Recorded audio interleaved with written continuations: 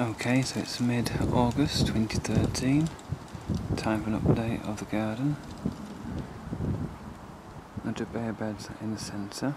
I'll start to dig out the raised beds that are going to surround this. So the triangular shaped bed there and there.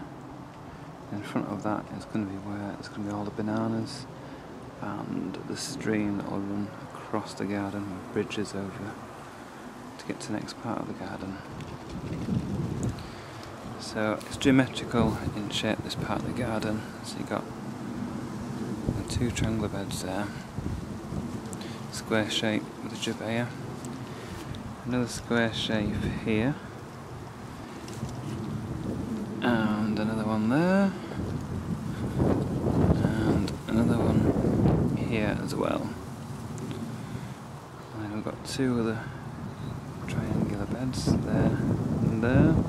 So in between there's going to be decking paths.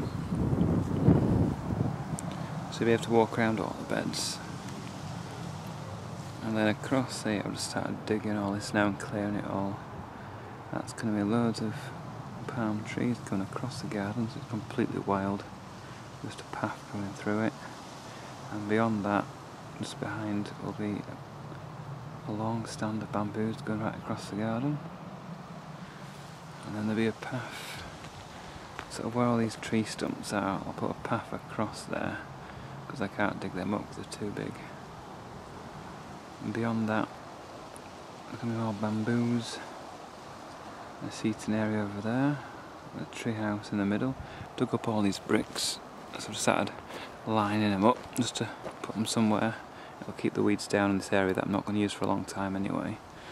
I've got plenty more bricks as well to pile up.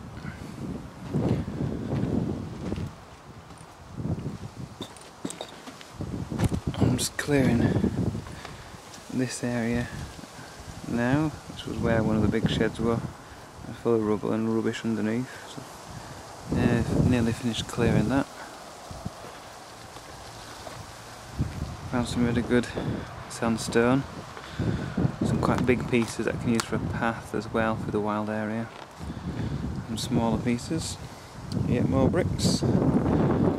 This is a boundary where I'm going to put the hawthorn hedge at the back of the garden and it'll protect these young eucalyptus trees and also the bamboos and other plants that I'm going to plant. So that's the back end of the garden. See lots of clearing. Still quite boring, there's not many plants gone in yet, but there's a lot of groundwork to do, a lot of topsoil to bring in. There you are. To be continued.